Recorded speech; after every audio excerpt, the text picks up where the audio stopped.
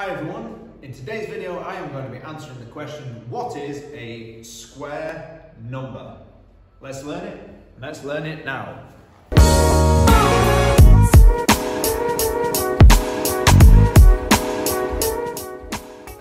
So, have you ever seen a number that has a small 2 in the corner of it? Some people think that this small 2 means 5 times 2. Okay, but actually what it means is squared. And what squared means is 5 multiplied by 5. Allow me to explain some more. So these are squared numbers. Okay, so 1 squared, 2 squared, 3 squared, 4 squared, 5 squared, 6 squared. Now the first thing to know about squared numbers is that there are infinite amounts, oops, infinite amounts of squared numbers. This is the sign for infinity. So it means that they go on forever. So look, here I have 1 squared, and that means 1 multiplied by 1.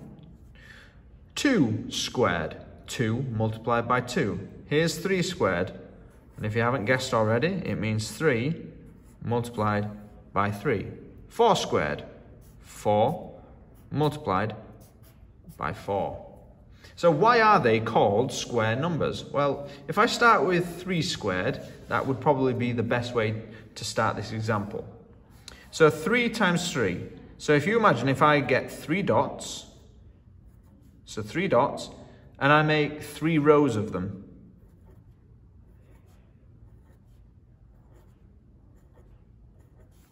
What shape can you see? So 4 times 4. So 4 rows of 4 dots.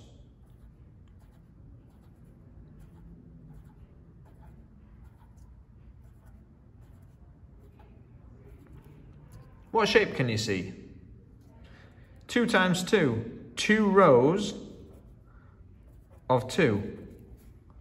What shape can you see?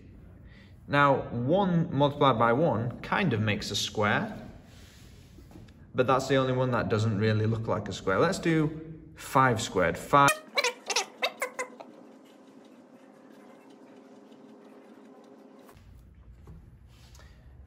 And that is why we call squared numbers square numbers.